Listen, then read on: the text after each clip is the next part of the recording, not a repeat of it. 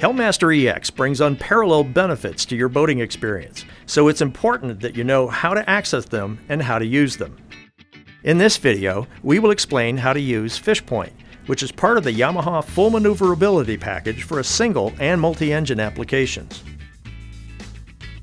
Yamaha's SetPoint is a suite of advanced boat control features that include StayPoint, FishPoint, and DriftPoint.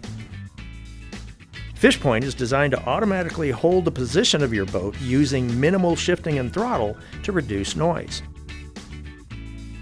In this mode, your boat's heading can change depending on current or wind. You choose which point you want to use as your pivot, either bow or stern. This can be done very quickly right from the main screen on your Yamaha CL5 or CL7 gauge. In the upper right hand corner, press Mode and then select Bow or Stern. Once your boat's stern or bow is over the spot where you wish to remain, Shift the engines into neutral and press the FishPoint button.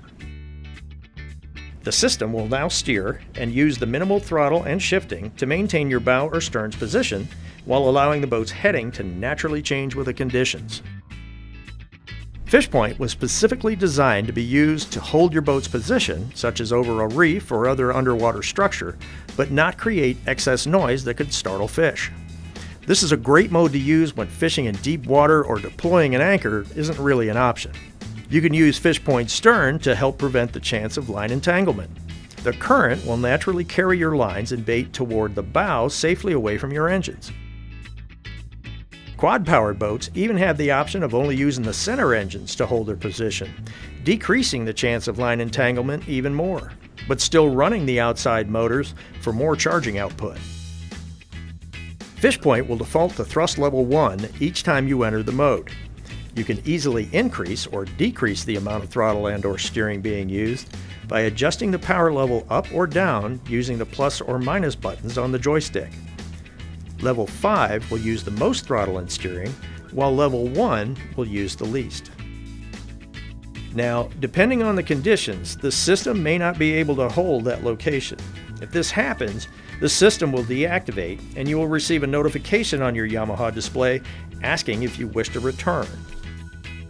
If you confirm, the system will automatically steer and use low RPM to return to that location and then re-engage FishPoint.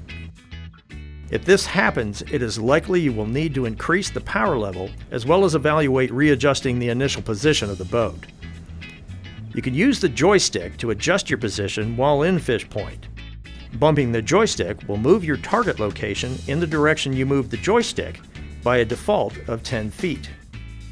Bumping the joystick multiple times in the same direction will cause the movement of the target location to stack up to 10 times. You can change your preferred distance setting in the menu on your Yamaha display between 5, 10, and 20 feet. Default is 10 feet. Using Yamaha CL5 display, simply swipe the screen to the right to get to the menu or from the home screen on the CL7, swipe up and then press menu. Select joystick and SetPoint, then find tuning distance. To exit out of FishPoint mode, you can press the FishPoint button or operate the throttles.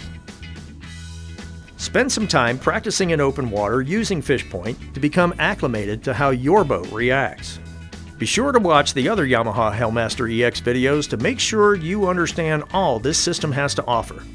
From benefits like the digital electronic controls, trim assist, and speed control, to the adjustability of the digital electric steering, powerful autopilot functions, and of course full maneuverability with joystick, and the SetPoint suite that brings boat control to an all new level.